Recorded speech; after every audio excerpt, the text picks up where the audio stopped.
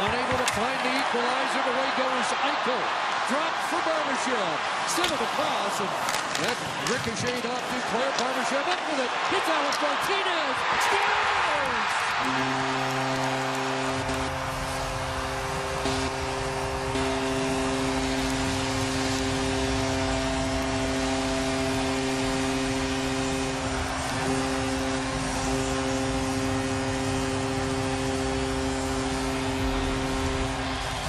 First of the Stanley Cup playoffs for Martinez after Hill slammed the door shut at the other end. Yeah, the best chances, couple of close calls on rebounds in front.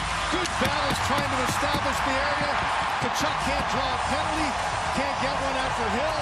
They both got a couple of shots in, and then after the kill, Martinez had to reach back and keep this one alive. He does a nice job of reading the play, but then bobbles it, and then quickly there's another case where Bobrovsky's expecting the shot right here. He's already down, now goes down the second time, makes himself small.